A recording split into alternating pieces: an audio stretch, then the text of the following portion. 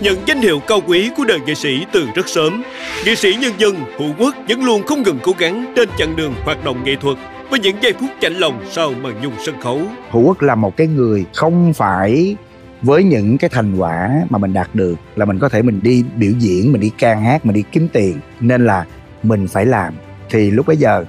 buồn có chạnh lòng là tại sao đường đi của mình nó không có bằng phẳng như những người khác. Đón xem chuyện tối cùng sau với câu chuyện của nghệ sĩ nhân dân Hữu Quốc, được phát sóng vào lúc 21 giờ 50 phút thứ tư, ngày 25 tháng 9 năm 2024 trên truyền hình Vĩnh Long 1